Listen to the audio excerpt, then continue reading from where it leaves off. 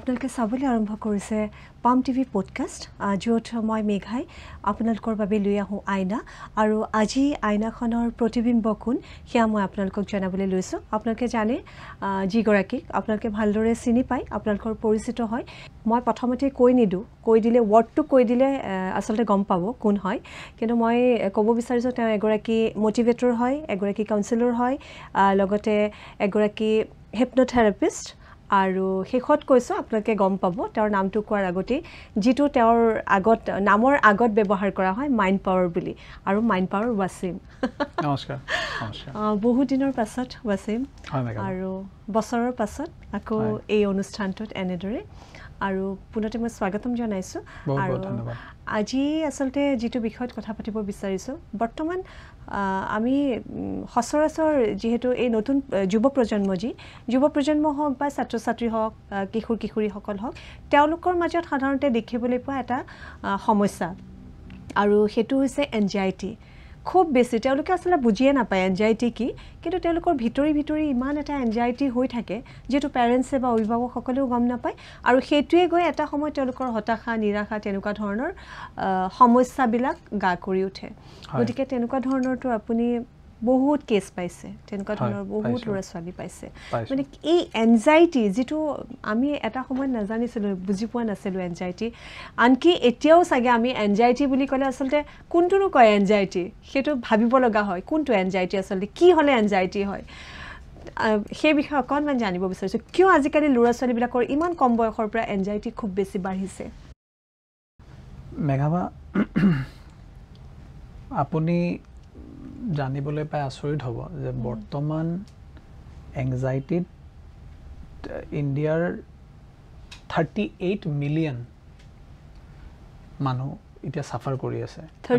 Eight million thirty eight million entire পপুলেশ্যনৰ thirty eight million আৰু যিটো নেকি ক'ভিডৰ পিছত পঁচিছ শতাংশ বাঢ়ি গৈছে। আগত যিমান আছিল তাতকৈও আৰু বাঢ়িছে। আৰু ঠিক তেনেকৈ ডিপ্ৰেশ্যন আপোনাৰ forty five point nine million মানুহ ডিপ্ৰেশ্যনত ভুগিছে এতিয়া। Forty five point nine million মানে কিমান কিমান মানুহ ডিপ্ৰেশ্যনত ভুগি আছে। আপোনাৰ ছুইচাইড ৰেটছ মানে ধৰক মানে এই ৱৰ্ডটো মই ইউজ কৰিব নিবিচাৰোঁ কিন্তু যিহেতু আমি সজাগ হ'ব লাগিব এৱেৰ হ'ব লাগিব।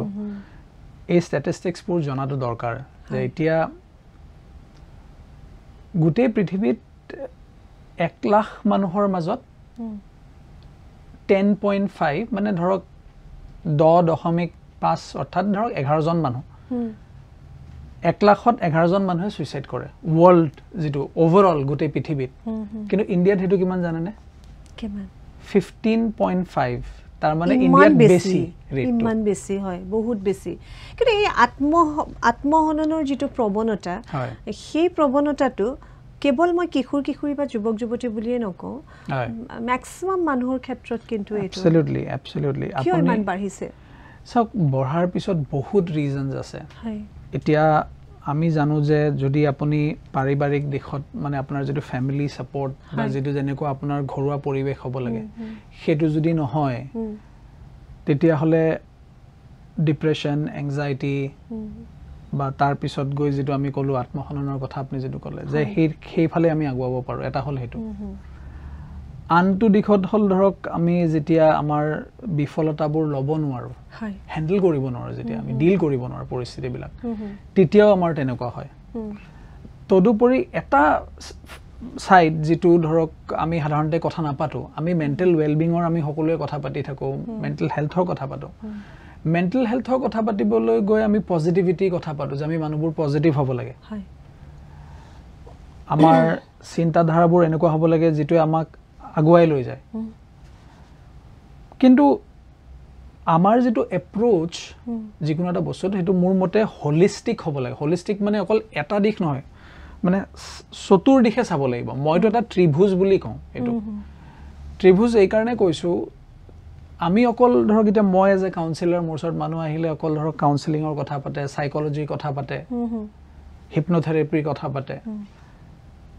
এতিয়া কোনোবা এজন যদি চাইকেট্ৰিষ্টৰ ওচৰলৈকে আপুনি যায় তেতিয়াহ'লে হয়তো তেখেতৰ লগত আপোনাৰ যিখিনি কথোপকথন হ'ব তাত আপুনি হয়তো নিউৰলজিৰ কথা পাতিব। মেডিচিনৰ কথা হ'ব আপোনাৰ লগত। আৰু এটা দিশ আছে ধৰক কোনোবা এজনৰ ওচৰত গ'লে ধৰক আপোনাৰ ফিজিঅলজিকেল ইছ্যুজ আপোনাৰ বডিলি ইছ্যুজ যিবোৰ আছে।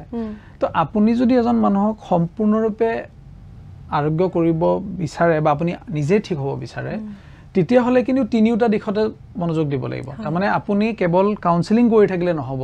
আপুনি লগতে আপোনাৰ বোলে নিউৰ' কেমিকেলবোৰ কেনেকুৱা অৱস্থাত আপোনাৰ ব্ৰেইনটো ব্ৰেইন হেল্থটো আপোনাৰ যিটো নিউৰলজি বা ব্ৰেইন কি অৱস্থাত আছে সেইটো আপুনি ঠিক কৰিব লাগিব। মানে এফালে নিউৰলজি ব্ৰেইন এফালে চাইকলজি মাইণ্ড লগতে আপোনাৰ বডিটো আপোনাৰ দেহাটো সেইটো কি অৱস্থাত আছে আপোনাৰ?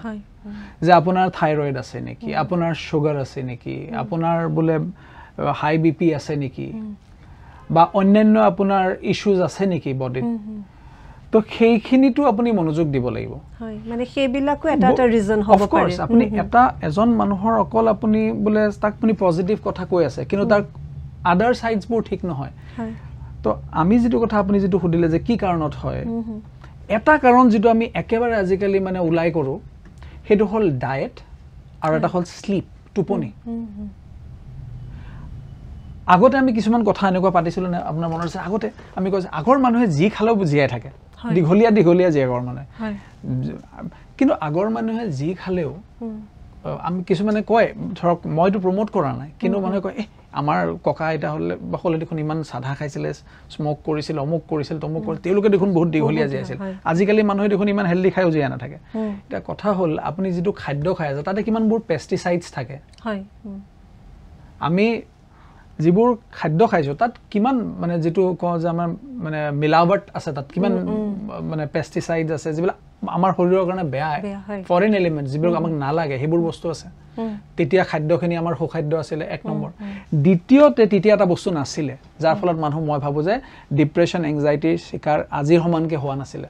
সেইটো সেইটো কি বস্তু জানেনে? সেইটো আপোনাৰ আমাৰ সকলোৰে লগত আছে আমাৰ প্ৰত্যেকৰ লগত আছে। মই ভাবোঁ যে সেই বস্তুটোত কিছুমান পেৰেণ্টছে মনোযোগ দিয়ে যেতিয়া পৰীক্ষা আহে। তেতিয়া তেওঁলোকে মোক কয় যে পৰীক্ষা আহিছে আপোনাৰ আমাৰ ল'ৰাটোৰ আপুনি এই বস্তুটো অলপ আঁতৰ কৰি দিয়ক। মানে আগতে যেনেকে বিৰা আৰু ভূত লাগিলে। বেজ মাতে ন?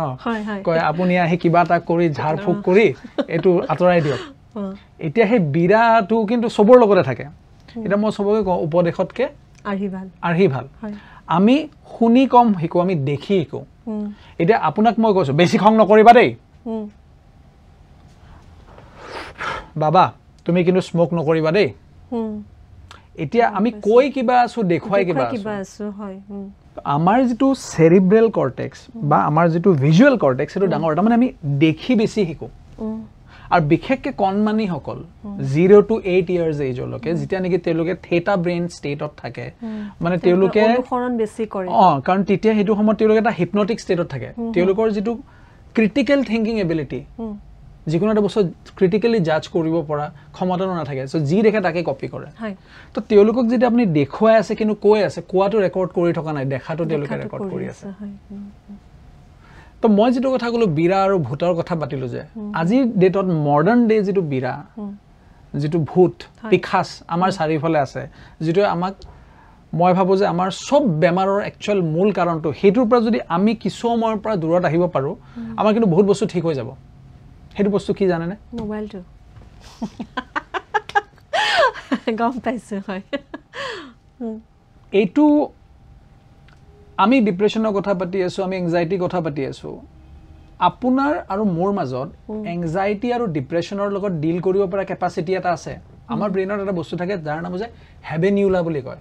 আচ্ছা। কি বুলি কয়? হেবেনিউলা। এতিয়া এই হেবেনিউলা বোলা বস্তুটোৱে ৰাতি এঘাৰ বজাৰ পিছত আপোনাৰ শত্ৰু এঘাৰ বজাৰ আগত আপোনাৰ মিত্ৰ। মানে আপুনি যদি ৰাতি এঘাৰ বজাৰ আগত শুৱে তেতিয়াহ'লে সি আপোনাক ডিপ্ৰেশ্যন এংজাইটি হোৱাৰ পৰা ৰখায়। কিন্তু এঘাৰ বজাৰ পিছত আপুনি যদি শুৱে তেতিয়াহ'লে সি উল্টা আপোনাৰ কি হয় শত্ৰু হৈ পৰে। আপোনাৰ ডিপ্ৰেশ্যন এংজাইটি বঢ়াই দিব সি আপোনাৰ কাৰণ আমাৰ শ্লিপৰ কেইবাটাও ষ্টেজ আছে N one N two N three আৰু ৰেম শ্লিপ তো আপুনি গোটেইকেইটা চাইকেল যেতিয়া কমপ্লিট নকৰিব যেতিয়া টোপনিটো আপোনাৰ ডিপ নহ'ব মানে আমাৰ হাৰ্টটো এতিয়া মই যে কথা পাতি আছোঁ এতিয়া যদি আপুনি মোৰ হাৰ্ট ৰেট ভেৰিয়েবিলিটি চেক কৰে এইচ আৰ ভি বুলি যিটো কওঁ সেইটো যদি মোৰ চেক চেক কৰে বা আপুনি যদি মোৰ এটা ফাংচনেল এম আৰ আই লগাই লয় ব্ৰেইনত এতিয়া মোৰ ব্লাড ফ্ল' ব্ৰেইনৰ ক'ত কি হৈ আছে আপুনি দেখিব যে এইখিনি সময়ত হয়তো মোৰ ফ্ৰণ্টেল ল'বত ইয়াত। যিটো মই চিন্তা কৰোঁ জাজ কৰোঁ মানে মই কি কথা ক'ম কেনেকৈ ক'ম কি ভাবিম কেনেকৈ প্লেন কৰিম কেনেকৈ ডিচিশ্যন ল'ম ইয়াত এইটো দি কৰোঁ আমি। মই যে তাৰ কপাল ভাল তাৰ কপাল খুলিল। তো এই কপালখনত ব্লাড ফ্ল'টো এতিয়া মোৰ বেছি হ'ব। আৰু সেইটো কৰিবৰ কাৰণে হাৰ্টবিটটো মোৰ এটা ৰেটত থাকিব লাগিব। চ' মোৰ এতিয়া মষ্ট প্ৰবলি এতিয়া মই আলফা বেটা ব্ৰেইন ৱেভ ষ্টেটত আছোঁ বৰ্তমান। Alpha and beta brain wave ষ্টেটত এই দুটা ব্ৰেইন ৱেভ ষ্টেটত থাকিলে কি হয় আলফা ব্ৰেইন ৱেভত থাকিলে আপুনি ধৰক এৰাউণ্ড নাইন হাৰ্টজত আছে আপুনি। তেতিয়া আপুনি ৰিলেক্স হৈ আছে বাট আপুনি এৱেক তাতকৈ অলপ স্পীডত হ'লে আপুনি হাইপাৰ এৱেক হ'ব আৰু বেছি এৱেক হ'ব। কিন্তু তাতকৈও যদি বেছি হ'বলৈ লয় তেতিয়াহ'লে আপোনাৰ এংজাইটি হ'বলৈ ল'ব।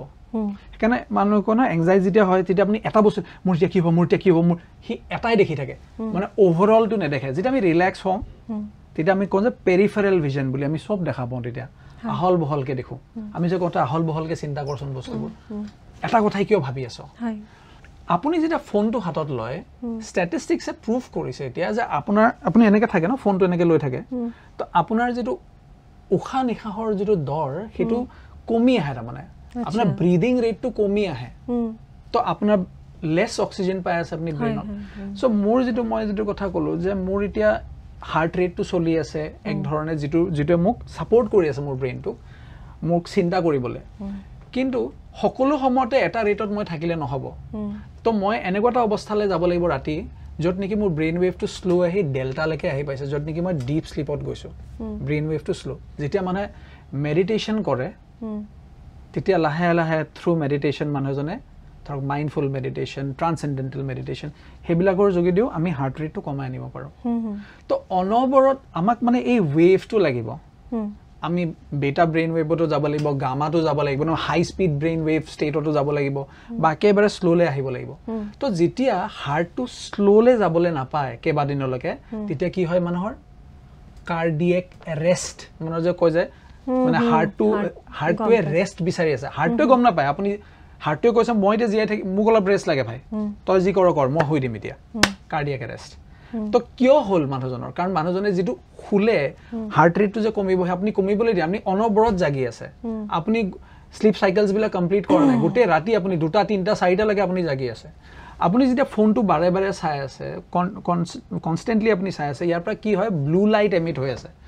ব্লু লাইটে আপোনাৰ চকুৱেদি কৈ কি হয় আপোনাৰ যিটো চাৰ্কেডিয়ান ৰিদম বুলি কওঁ আমাৰ দিন ৰাতিৰ যিটো ৰিদম তাৰমানে আগতে আমি কি কৰিছিলোঁ আমিতো আল্টিমেটলি কি হয় এনিমেলে হয় কথা ক'ব পৰা লিখিব পৰা সমাজ গঢ়িব পৰা আমি এনিমেলছ হয়।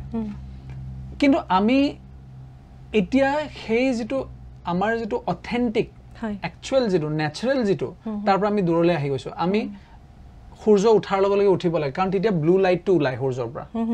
তো ব্লু লাইটে আমাক জগায়।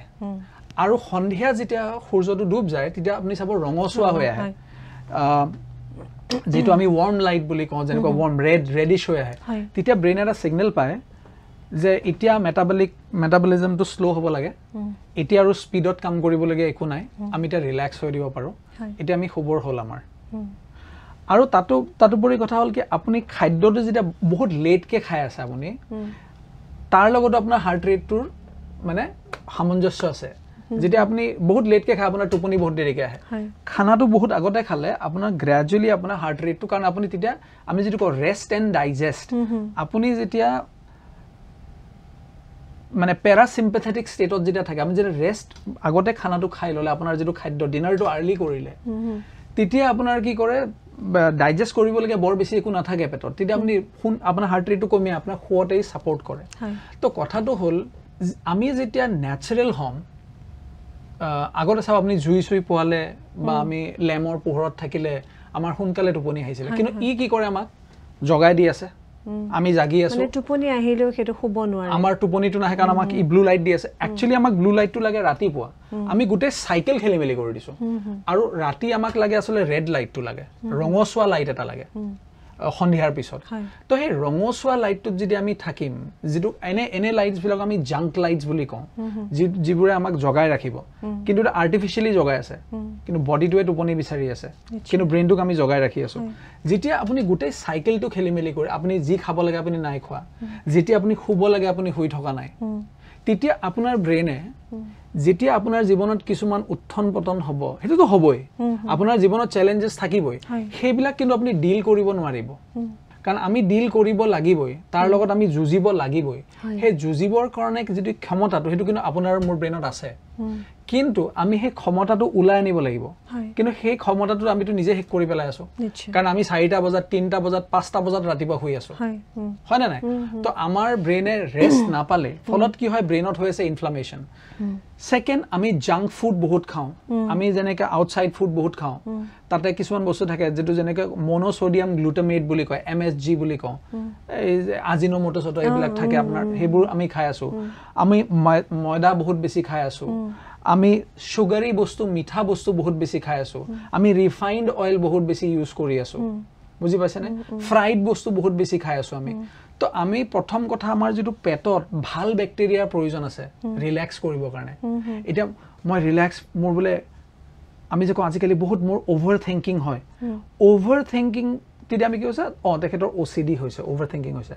তেতিয়া কি হয় তেখেতক চেৰাটনিন বঢ়াবলৈ দিয়া হয় যে আপোনাক S S R I selective serotonin reuptake inhibitor বুলি এবিধ ঔষধ দিয়া হয়। সেইটো খালে আপুনি মানে ৰিলেক্স ফিল কৰে। তো সেই ৰিলেক্সেশ্যনৰ ফিলটো একচুৱেলি ক'ত ক্ৰিয়েট হৈ জানেনে? আমাৰ পেটত হয়। জি আই ট্ৰেকত এই জি আই ট্ৰেকত কেতিয়া আমাৰ পেটত ভাল আৰু বেয়া বেক্টেৰিয়া দুবিধে থাকে। যেতিয়া আমি বহুত ৰাতিলৈকে জাগি থাকোঁ তেতিয়া আমাৰ ভাল বেক্টেৰিয়াবিলাক মৰি যায় বেয়া বেক্টেৰিয়াবিলাক থাকি যায়। তেতিয়া গেছ হৈ থাকিব পেটটো বেয়া লাগি থাকিব বুকুখন বেয়া লাগি থাকিব।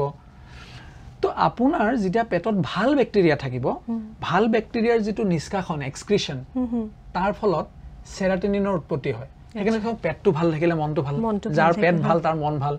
আমি কি ভাবি আছো যে ঠিক আছে মোৰ এনেকুৱা হৈছে মই অলপ তেনেকুৱা চেৰাটিনিন বঢ়োৱা কিবা এটা বস্তু খাই লওঁ। এতিয়া আগৰ আগতে আমি পইতা ভাত খাইছিলো আজিকালি আমি নাখাওঁ।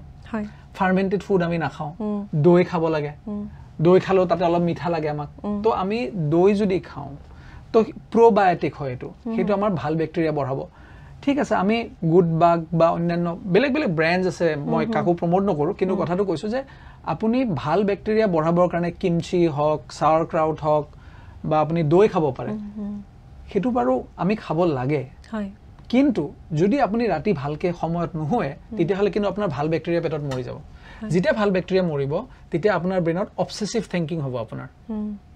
লিভাৰ ফাংচন আপোনাৰ প'ৰ হ'ব। লিভাৰ ফাংচন যেতিয়া প'ৰ হ'ব আপোনাৰ দেখিব আপোনাৰ বি ওৱান বি থ্ৰী এইবিলাকৰ লেভেল কম থাকিব। যেতিয়া বি ওৱান বা বি থ্ৰী লেভেলছ কম থাকিব আপোনাৰ বডিত তেতিয়া আপোনাৰ বহুত মানে ইৰাটিক থিংকিং হ'ব বা আপুনি যেতিয়া ফ'কাছ কৰিব বিচাৰিব নোৱাৰিব আপোনাৰ বোলে বি থ্ৰী কম তেতিয়া আপুনি দেখি আছে আৰে মোৰ দেখোন এটেনশ্যন ডেফিচিট বা attention deficit hyperactive disorder হৈছে। মই মনোযোগ দিব নোৱাৰোঁ। মই সোনকালে সোনকালে পাহৰি যাওঁ। তো গোটেইখিনি একচুৱেলি মেঘাবা মূল বস্তুটো কি জানেনে? মই প্ৰথম ক'ম যে ফাৰ্ষ্ট আপোনালোকে আপোনাৰ টোপনিটো কাৰেক্ট কৰক।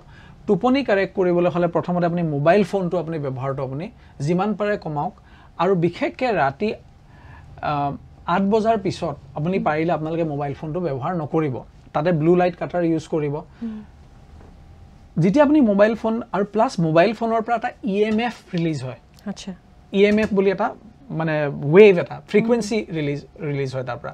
সেইটোৱে কি কৰে আমাৰ গোটেই ছিষ্টেমটোক ডিষ্টাৰ্ব কৰে।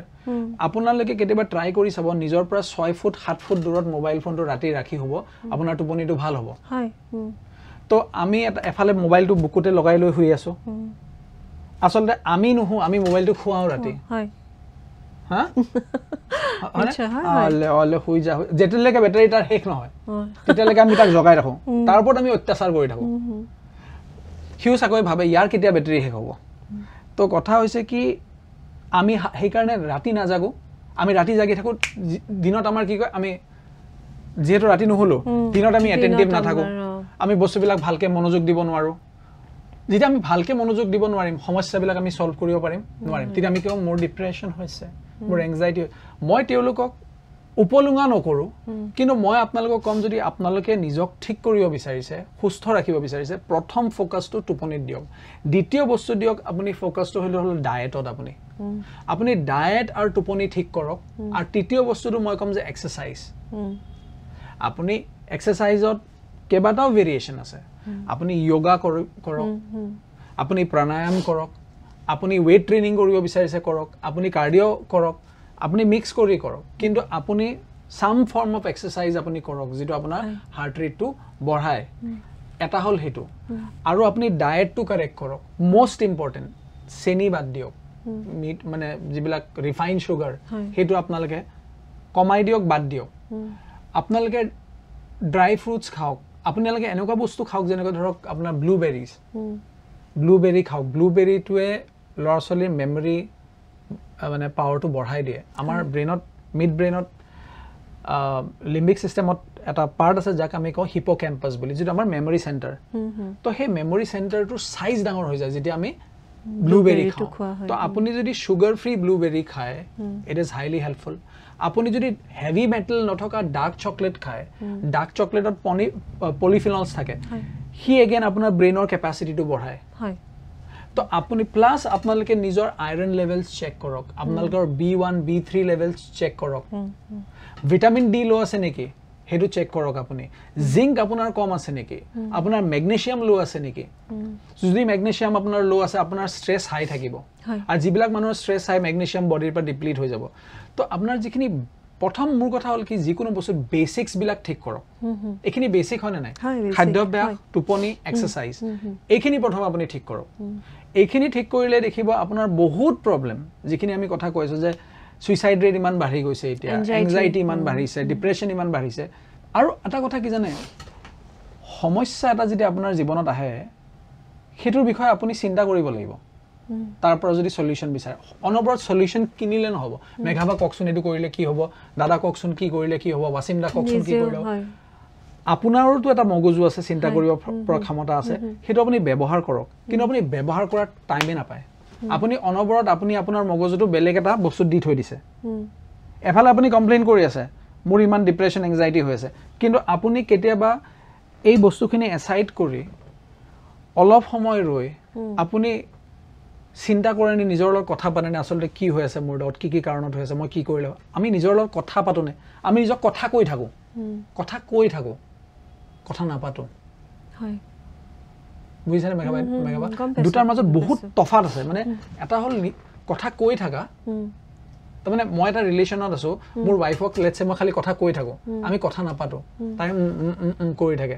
তো সেইটো কোনো কথোপকথন নহয় তো আমি জেনেৰেলি নিজৰ কথা কৈ থাকোঁ কথা নাপাতোঁ।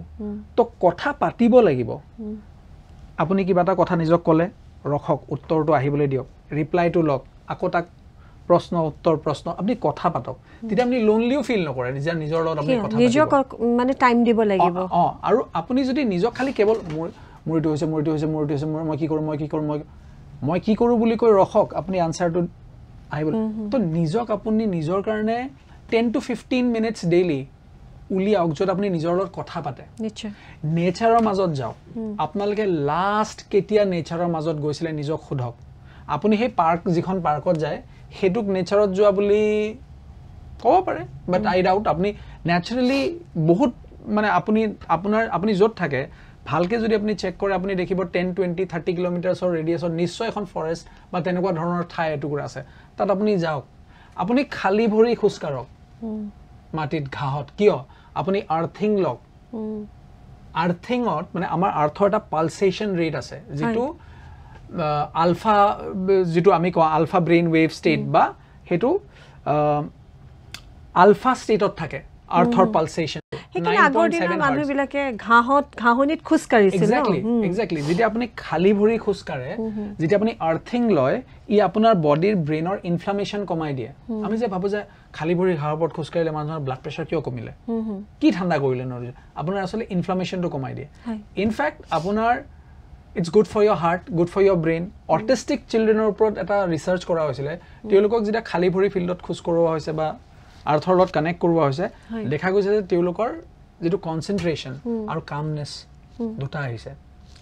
চ' ইয়াৰ মাজত এটা বস্তু আছে আমি ফৰেষ্ট বাথিং বুলি কওঁ মেঘাবা। ফৰেষ্ট বাথিং মানে কি জানে?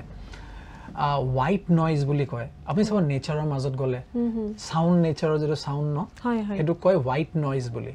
তো আপুনি আৰু মই যদি ফৰেষ্টৰ মাজত গৈ ফিফটিন টুৱেণ্টি মিনিটছ কটাওঁ এফালে আমি অক্সিজেন পালোঁ। দ্বিতীয়তে আমাৰ এনভাইৰমেণ্টটো চেঞ্জ হ'ল। আমি গ্ৰীণছ যেতিয়া চাওঁ আমাৰ মাইণ্ডটো চেঞ্জ হয় তেতিয়া। প্লাছ আপুনি আৰ্থিংটো পালে। তো তো আপোনাৰ কি হ'ল আপুনি চিম্পেথেটিক নাৰ্ভাছ ছিষ্টেম ষ্টেটৰ পৰা মানে ফাইট অৰ ফ্লাইট এতিয়া মোৰ কি হ'ব মোৰ লাইফটো কি হ'ব মই কোনফালে গৈ আছোঁ তাৰ পৰা আপুনি ৰেষ্ট এণ্ড ডাইজেষ্ট ষ্টেটত আহিলে। চ' নেচাৰৰ মাজত যাওক। মই যিকেইটা বেচিক বস্তু কৈছোঁ নেচাৰৰ মাজত যাওক ডায়েট ঠিক কৰক এক্সাৰচাইজ কৰক আৰু সময়ত শুৱক শ্লিপটো ইম্প্ৰুভ কৰক। আচ্ছা ৱাচিম মই এইখিনি সময়তে এটা কথা কওঁ। আমাৰ যিটো প্ৰফেশ্যন আপুনি নিজেও দেখিছে মোৰ তেতিয়া শ্ব'টোতো ৰাতিয়ে থাকে প্ৰায়। আৰু মই বাৰটা বজালৈকে থাকোঁ। মোৰ সদায় শ্লিপিংটো মানে শ্লিপিং মানে চাইকেলটো মোৰ মানে এতিয়া ভাষাত ক'বলৈ গ'লে খুব বেয়া। খুব বেয়া মানে কাৰণ মই বাৰটা বজাত ঘৰ গৈ পাওঁ। তাৰপিছত শুওঁতে অকণমান টাইম লাগে। গতিকে কিন্তু সেইটো সময়ত যিমানখিনি আকৌ মৰ্ণিং সোনকালে উঠিবই লাগে। উঠি কাৰণ ল'ৰা ছোৱালী স্কুল থাকে মই নিজেও অফিচ আহিব লাগে। কিন্তু আমাৰতো তেতিয়াতো যদিও শ্লিপিং চাইকেলটো তেনেকুৱা আছিলে এনজাইটি বা সেই ডিপ্ৰেশ্যনটো অহা নাছিল তাত শ্বুট ভগৱানে কৰাত এতিয়ালৈকেতো সেই বস্তুটো। কথা এটা হ'ল কি আপোনাৰ এক ধৰণৰ এটা মেণ্টেল মেকআপ হৈ গৈছিলে। যিটো ষ্টেজত আপুনি এতিয়া এইটো ধৰক এইখিনিৰ ফলতো কিছু মই ক'ব বিচৰা নাই বাট ষ্টিল আপুনিও জানে যে ইয়াৰ ফলত যদি আপুনি ৰাতি বাৰ বাজি মানে বজাত হোৱাতকৈ আপুনি যদি ৰাতি দহ বজাৰ ভিতৰত শুলেহেঁতেন এঘাৰ বজাৰ ভিতৰত শুলেহেঁতেন হয়তো আপোনাৰ আজি যিটো প্ৰডাক্টিভিটি তাতকৈ বেছি বেটাৰ হ'লহেঁতেন। আপোনাৰ নিশ্চয় আপোনাৰ হেল্থটো আৰু বেছি বেটাৰ হ'লহেঁতেন। কিন্তু আপোনালোকৰ এক ধৰণৰ মেণ্টেল মেকআপ এটা ষ্টেজত অলৰেডি হৈ গৈছে। এতিয়া যিটো ষ্টেজত আপুনি আহিছে এতিয়াও আপোনাৰ ক্ষতি হৈ আছে হয়তো সিমানখিনি আপোনাৰ ক্ষতি এতিয়ালৈকে কৰিব পৰা নাই বিকজ আপোনাৰ এটা ৱে অফ থিংকিং হৈছে কিন্তু যিটো নৱপ্ৰজন্ম যোনে জন্ম হোৱাৰ লগে লগে মা পাপা কোৱাৰ আগতে মোবাইল বুলি কয়। কাৰণ চাব ভাত খুৱাবলৈ হ'লে হাতত এটা মোবাইল দি দিয়া হয়। নহয় কথাটো এনেকুৱা হয় নেকি যে ক্ৰিয়েটিভ কাম যিসকলে ক্ৰিয়েটিভ ফিল্ডৰ সৈতে জড়িত থাক যিসকল থাকে তেওঁলোকেতো সদায় ৰাতি দেৰিলৈকে কাম কৰে বা লিখা মেলা যিসকল থাকে মানে ৰাইটাৰ হওক যিসকলে লিখা মেলা কৰে তেওঁলোকেও হয়তো ৰাতি তেওঁলোকৰ সেই ক্ৰিয়েটিভটো বহুত বেছি হয় চাগে ক্ৰিয়েটিভনেছটো তেওঁলোকে টোপনি ক্ষতি কৰে কিন্তু কিন্তু সেইসকল মানুহৰতো এতিয়াও তেনেকুৱা ধৰণৰ এটা বয়সলৈকে তেওঁলোকে ৰাতিও লিখা মেলা কৰিছে। তেওঁলোকৰতো এনজাইটি বা ডিপ্ৰেশ্যন হয়তো আজিৰ তুলনাত তেনেকুৱা ধৰণৰ নাই। কিন্তু এই মোবাইল যিটো আচলতে সেই মোবাইল নামৰ যিটো যন্ত্ৰ সেই যন্ত্ৰটোৱে মানুহৰ আচলতে এই বস্তুবিলাক মানে ইয়াতে মেঘাবাচক প্ৰকাশিত আৰু অপ্ৰকাশিত। মানে কিছুমান মানুহে প্ৰকাশ নকৰে। এজন মানুহ পাৰফেক্টলি অল ৰাইট আপুনি দেখি আছে একদম দেখা শুনাই সুস্থ দেখিবলৈ একদম হেণ্ডচাম বিউটিফুল জিম যাই আছে সেই মানুহজনে হঠাৎ চুইচাইড কৰি দিলে। তো আমি কাকো দেখি ক'ব নোৱাৰোঁ। ৰবিন উইলিয়ামছ মনত আছেনে আপোনাৰ? এজন মানে অস্কাৰ উইনিং এক্টৰ আছিলে। তেখেতৰ বাইপলাৰ হৈছিলে তেখেতে চুইচাইড কৰিলে। তেখেতেতো পজিটিভিটিৰ ওপৰতে মেক্সিমাম মুভি তেখেতৰ লাইফ ৰিলেটেড আছিলে পজিটিভিটিৰ ওপৰত তেখেতে কৈছিলে। কিছুমান ইছ্যুজ আছে যিবিলাক ক্লিনিকেল হয়। মানে ডিপলি ক্লিনিকেল হয় যে তেওঁলোকৰ ব্ৰেইনত এনেকুৱা ইছ্যুজ অলৰেডি হৈ আছে। যেনেকে মেজৰ ডিপ্ৰেছিভ ডিজৰ্ডাৰ্ছ আছে। তো সেইটো আছে। তো তাৰ সেইটো বাৰু হ'ল কিন্তু আপুনি যিটো কথা সুধিছে যে আজি এছাম মানুহে যিসকল ক্ৰিয়েটিভ মানুহ আছে তেওঁলোকে নিজৰ ক্ৰিয়েটিভ ছাইডটো ৰাতি আনলিছ কৰিব পাৰে মানে উলিয়াব পাৰে নিজৰ মাজৰ পৰা। হয়তো তেওঁলোকে চিটিত থাকে। য'ত য'ত নেকি চাৰিওফালে নইজ আছে। তেওঁলোক যদি ভিলেজ বা এনেকুৱা এটা জেগাত থাকিলেহেঁতেন য'ত নেকি ধৰক তেনেকুৱা চাউণ্ড নাই হয়তো তেওঁলোকে দিনতে সেই বস্তুটো উলিয়াব পাৰিলেহেঁতেন নিজৰ পৰা। বুজিছেনে কথাটো মই কি কৈছোঁ? তো তেওঁলোকৰ কাৰণে হয়তো সেই পৰিয়ালক সময় দিব লগা হৈ আছে অন্যান্য কাৰোবাক কাৰোবাক অন্যান্য এংগেজমেণ্টছখিনি আছে। এটা সময়ত তেওঁলোকে পাই যে অঁ এইখিনি সময় এতিয়া এইখিনি সময় এতিয়া মোৰ এইখিনি সময়ত মই মোৰ ক্ৰিয়েটিভ কামটো কৰি উলিয়াম। কাৰণ মোৰো কমফৰ্ট জ'ন আছিলে ৰাতি শ্ব' মই দিনত শ্ব' কৰিব বেয়া পাইছিলোঁ। হয়। তো কথাটো হ'ল কি চব বস্তুৰে এটা আপুনি প্ৰাইচ পে' কৰিবলগীয়া হয় তাৰমানে। কিবা এটা আপুনি চব বস্তুৰে আপুনি তাৰ বিনিময় দিবলগীয়া হয়। এতিয়া আপোনাৰ ক্ৰিয়েটিভ ছাইডটো আপুনি ৰাতি উলিয়াই আছে নিজৰ পৰা। কিন্তু যিটো মেচিনৰ পৰা আপুনি ৰাতি উলিয়াই আছে সেই মেচিনটো সেইখিনি সময়ত আচলতে শুব লাগে। তো ফলত কি হৈ আছে আপুনি উলিয়াই আছে। কাৰণ আপোনাক হয়তো ভগৱানে নেচাৰে এনেকৈ বিল্ড কৰিছে যে আপোনাৰ মাজত এতিয়া কেপাচিটি অলপ বেছি আছে হয়তো। আমাৰ চবৰে বেলেগ বেলেগ ধৰণৰ ইণ্টেলিজেঞ্চ আছে। আমি কওঁ যে আঠ ধৰণৰ ন ধৰণৰ মাল্টিপল ইণ্টেলিজেঞ্চ বুলি কয় আৰু। এতিয়া ধৰক আপোনাৰ এক ধৰণৰ ইণ্টেলিজেঞ্চ ধৰক আপোনাৰ সেই ক্ৰিয়েটিভ ইণ্টেলিজেঞ্চটো বেছি আছে আপোনাৰ। বা আৰু আপুনি এটা টাইম বিচাৰি পাইছে যে এইখিনি সময়ত চব যেতিয়া চাইলেণ্ট হৈ যায় মোৰ ব্ৰেইনটো এটা ব্ৰেইন ৱেভ ষ্টেটত গুচি যায় মই তেতিয়া মই উলিয়াই আনিব পাৰোঁ। সেইটো আপোনাৰ কাৰণে লাভজনক হৈছে মেঘাবা কিন্তু তাৰ ফলত হয়তো আপোনাৰ ক্ষতিও হৈছে। এটা আপুনি ফূৰ্তি পাইছে আপুনি যে আপুনি মই ক্ৰিয়েটিভ কাম এটা কৰি আছোঁ। কিন্তু যদি আপুনি অল্টাৰনেটিভলি চিন্তা কৰিলেহেঁতেন বা আপোনাৰ মোৰ নিচিনাকৈ তেনেকৈ মানুহ যিসকলে নিজৰ সেই ক্ৰিয়েটিভ ছাইডটো উলিয়াই আনে তেওঁলোকে যদি চিন্তা কৰে যে এই বছৰ যদি মই দিনত উলিয়াব পাৰোঁ বা কেনেকৈ মই উলিয়াব সেই প্ৰশ্নটো যদি তেওঁলোকে নিজক সোধে তেতিয়াহ'লে হয়তো তাৰ উত্তৰো তেওঁলোকে পাব। কথাটো হ'ল কি আপুনি বেটাৰমেণ্ট বা নিজৰ পৰা আৰু কিমান উলিয়াব পাৰে কিমানখিনি উলিয়াব বিচাৰে। আৰু আৰু যিটো কথা আপুনি ক'লে যে অঁ য়েছ ট্ৰু আপুনি যেতিয়া ক্ৰিয়েটিভ কামবিলাক কৰি থাকে তেতিয়াহ'লে আপুনি এক্সপ্ৰেছ যেতিয়া আপুনি নিজক কৰে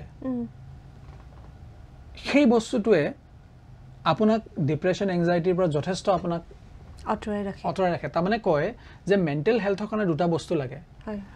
এটা হ'ল গ্ৰেটিটিউড এটা হ'ল এজেঞ্চি এজেঞ্চি শব্দটোৰ অৰ্থ হ'ল কি? আপোনাৰ নিজৰ ইচ্ছাত বস্তুবিলাকক এফেক্ট কৰিব পৰা ক্ষমতা তাৰমানে। আচ্ছা। মানে এতিয়া আপুনি নিজৰ মতে জীয়াব পাৰিছে বা নিজৰ মতে মই এইটো পিন্ধিম এইটো কৰিম এইটো খাম এইটো লিখিম এইটো ক'ম। চ' আপুনি নিজৰ মতে যিটো মানে বস্তুবিলাকক এফেক্ট কৰিব পৰা কেপাচিটিটোৱে আমাৰ মেণ্টেল হেল্থটো ঠিকে ৰাখে আৰু যেতিয়া আপুনি গ্ৰেটফুল হয় যে কৃতজ্ঞ যেতিয়া আপুনি হয় সেইটোৱে আপোনাক মেণ্টেল হেল্থটো ঠিকে ৰাখে আপোনাৰ। ইয়াতে মই এজন মানুহৰ নাম ল'ব বিচাৰিম মানুহজনৰ নাম হ'ল ট্ৰিষ্টেন হেৰিছ বুলি। ট্ৰিষ্টেন হেৰিছৰ আপুনি যথেষ্ট টেট টক্স আপোনালোকে পাব ইউটিউবত আছে। এই ট্ৰিষ্টেন হেৰিছ বোলা মানুহজননো কোন? তেখেত ষ্টেনফৰ্ডত ষ্টেনফৰ্ড পাৰ্চুৱেশ্যন টেকনলজি লেব বুলি এটা আছে। ষ্টেনফৰ্ড পাৰ্চুৱেশ্যন অৰ্থাৎ পাৰ্চুৱেট কৰা মানে কি? কাৰোবাক কনভিন্স কৰা। পাৰ্চুৱেশ্যন টেকনলজি লেব কেনেকুৱা অদ্ভুত নাম এটা যে তাত কি কৰিলে তেওঁলোকে নিউৰ' চাইণ্টিষ্ট ব্ৰেইন চাইণ্টিষ্ট আৰু টেকনলজিষ্ট তেওঁলোকে মিলি আৰু কেপিটেলিষ্ট কোনোবাই ফাণ্ডিং কৰিলে। এই তিনিয়ে মিলি কি কৰিলে তেওঁলোকে চিন্তা কৰিলে আমি মানুহখিনিৰ কেনেকৈ মানে মানুহখিনিৰ মনটোক কেনেকৈ এডিক্ট কৰিব পাৰোঁ। তো তেওঁলোকে উলিয়াই দিলে কি কৰিলে ব্ৰেইন চাইণ্টিষ্টবিলাকে ক'লে মানুহ এনেকৈ এডিক্টেড হয়। টেকনলজিষ্টবিলাকে ক'লে ঠিক আছে আমি এনেকুৱা ছফ্টৱেৰ বনাই দিম। কেপিটেলিষ্টবিলাকে ক'লে ঠিক আছে মই টকা ফাণ্ডিং কৰিম তহঁতে বনা। তো তেওঁলোকে কেনেকৈ মানুহ গ্লুড হয় কেনেকৈ মানুহ এডিক্টেড হয় সেইটো ক্ৰিয়েট কৰি দিলে। তো কৰি দিয়াৰ ফলত মেঘাবা কি হ'ল? আপুনি মন কৰিব আজিৰ পৰা কেইবছৰমান আগলৈকে আমি কিন্তু সিমান এডিক্টেড নাছিলোঁ মোবাইল ফোনৰ প্ৰতি। এতিয়া হঠাৎ আমি বহুত বেছি এডিক্টেড হৈ গৈছোঁ। তো তেওঁলোকে সেই মানে এলগৰিথিমটো উলিয়াই দিলে তাৰমানে। সেই মেথামেটিকেল ফৰ্মুলাটো উলিয়াই যে এনেকৈ যদি বস্তুখিনি প্ৰেজেণ্ট কৰা হয় তেতিয়াহ'লে মানুহ এডিক্টেড হ'ব। লাইক আহি গ'ল কমেণ্ট আহি গ'ল শ্বেয়াৰ বাটন আহি গ'ল।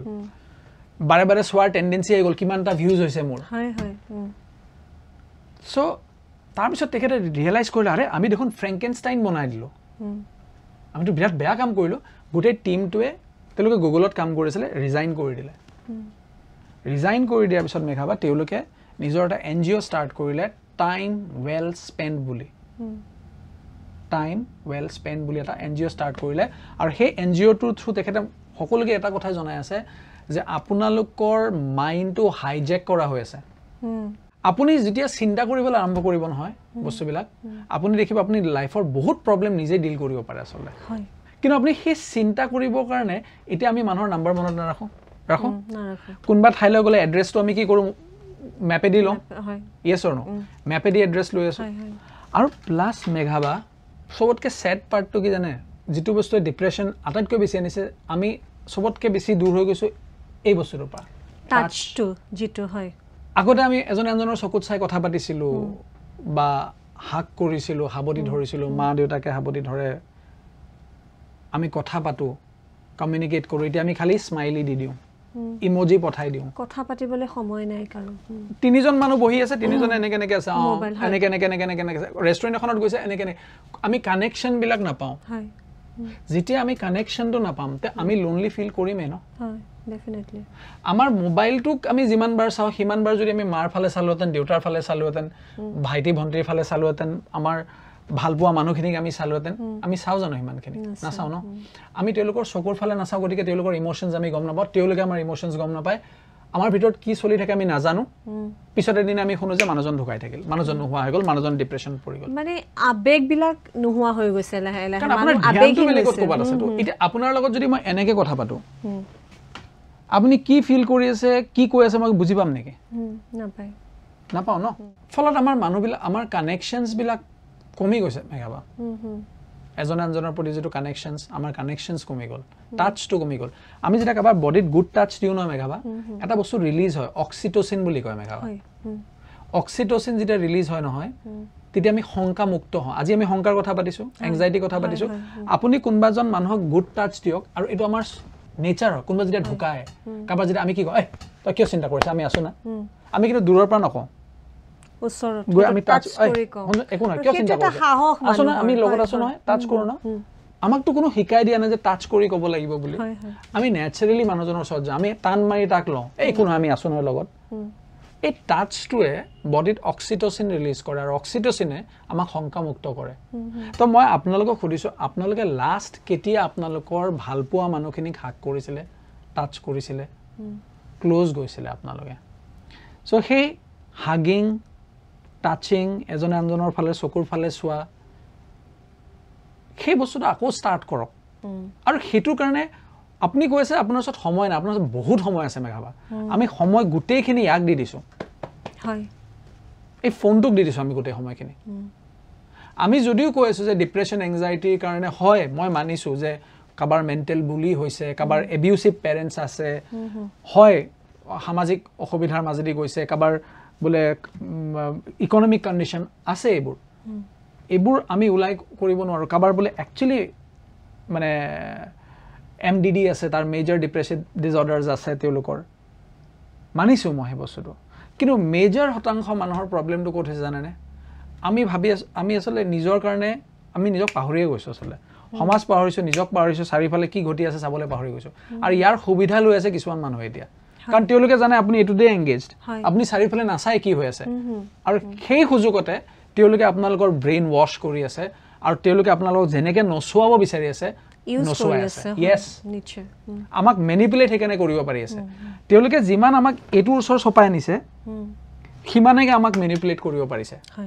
কাৰণ এইটোত যি কয় আমি সেইটোকে ৰাইট বুলি মানি লওঁ ন। চ' মই আৰু হয় নিশ্চয়। আৰু আজি আচলতে আমি যিখিনি কথা পাতিলোঁ ৱাছিমে যিখিনি কথা ক'লে এনজাইটি ডিপ্ৰেশ্যন ছুইচাইড এই আটাইবিলাক কথা যিখিনি ক'লে যিটো আচলতে মেইন মূল যিটো তাৰে কি বুলি ক'ম গুৰিটো গুৰিটো ক'ত? আটাইখিনি কথা খুব ধুনীয়াকৈ বুজাই দিছে আপোনালোকক কৈছে। কিমান আপোনালোকে ল'ব পাৰিছে সেইটো নাজানো। যদি ল'ব পাৰিছে সেইটো তেওঁলোকৰ নিজৰ কাৰণেও ভাল তেওঁলোকৰ ল'ৰা ছোৱালীৰ কাৰণেও ভাল আৰু উঠি অহা প্ৰজন্মটোৰ কাৰণে ভাল। আমি ৱাছিমৰ সৈতে এনেকুৱা বহু ধৰণৰ কথা আৰু আগলৈ পাতিম আৰু নিশ্চয় ৱাছিমৰ বিষয়েও জানিব লগা আছে আচলতে। ৱাছিমে ইমান বেলেগক কাউন্সেলিং কৰে মটিভেট কৰে কিন্তু নিজে কেনেকৈ মটিভেট হয় নিজে নিজক কেনেকৈ কাউন্সেলিং কৰে আমি সেইবিলাকো জানিবলৈ চেষ্টা কৰিম। কিন্তু আজি সময় হৈ আহিছে Wasim thank you so' much খুব ভাল লাগিলে। আজি ইমান বছৰৰ পাছত আকৌ এনেদৰে কথা পাতিলোঁ। খুব গুৰুত্বপূৰ্ণ কথা আচলতে। এইখিনি কথাই মই নাজানো আমাৰ যিসকল দৰ্শক আছে তেওঁলোকক কেনেকৈ সহায় কৰিছে। কিন্তু ময়ো এইবিলাক কথাৰ পৰা সদায় নতুন নতুন কিবা এটা শিকোঁ। মোৰ সহায় হয় বহুতখিনি। আৰু সেইকাৰণে থেংক ইউ এনেদৰে আচলতে এনেকুৱা ধৰণৰ বিষয়বিলাকক লৈয়ে মই এই আইনাখন লৈ আহিছোঁ আপোনালোকৰ আগলৈ। আৰু অহা সপ্তাহত আকৌ এটি নতুন বিষয় লৈ আপোনালোকৰ কাষলৈ আহিম। আপোনালোকে আইনা চাই কেনে পাইছে সেই বিষয়ে আমাক জনাবলৈ নাপাহৰিব কমেণ্ট কৰিবলৈ নাপাহৰিব। লগতে আপোনালোকে আমাৰ এই গোটেই আইনাখনৰ যিমানবিলাক বিষয় বা যিসকল প্ৰতিবিম্বক মই আপোনালোকৰ আগলৈ লৈ আহিলোঁ। আপোনালোকে আৰু কেনেকুৱা ধৰণৰ বিচাৰে বিষয় বিচাৰে কেনেকুৱা ধৰণৰ কথা পতাটো বিচাৰে আপোনালোকে নিশ্চয় সেয়াও জনাবলৈ নাপাহৰিব। এইখিনি সময়তে মই আপোনালোকক জনাওঁ যদি আপোনালোকে ৱাছিমৰ সৈতে কথা পাতিব বিচাৰে বা ৱাচিনৰ ৱাছিমৰ পৰা কোনো ধৰণৰ কাউন্সেলিং বিচাৰে বা আপোনালোকক তেনেকুৱা ধৰণৰ কিবা যদি সমস্যাৰ সমাধান লাগে তলত এটা নম্বৰ দিয়া আছে সেই নম্বৰটোত আপোনালোকে কণ্টেক্ট কৰিব পাৰে। অথবা ৱাছিমৰ ইউটিউব চেনেল আছে মাইণ্ড পাৱাৰ ৱাচিম বুলি আপোনালোকে সেই চেনেলটো ইউটিউব চেনেলটো ফ'ল' কৰিব পাৰে। আজিলৈ তেন্তে ইমানতে আপোনালোকৰ কাষৰ পৰা বিদায় লৈছোঁ। আপোনালোকে চাই থাকিব পাম টিভি পডকাষ্ট তেন্তে আজিলৈ ইমানতে এৰিছোঁ। নমস্কাৰ।